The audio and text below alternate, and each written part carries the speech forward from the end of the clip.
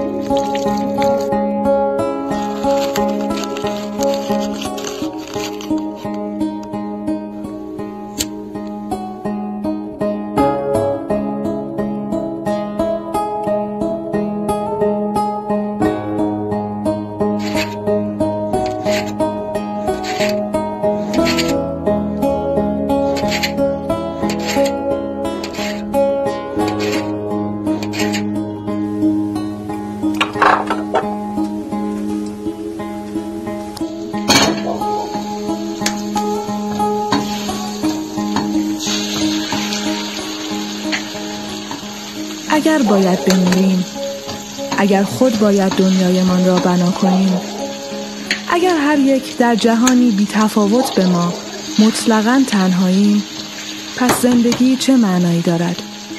چرا زندگی می کنیم؟ چطور باید زندگی کنیم؟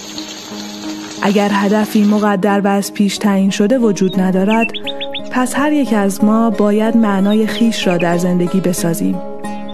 ولی آیا معنایی که خود برای خیشتن میآفرینیم بنیه لازم برای تاب آوردن این زندگی را دارد؟ این تعارض پویای اگزیستانسیال ریشه در معمای مخلوقی در جستجوی معنا دارد که به درون جهانی خالی از معنا افکنده شده است.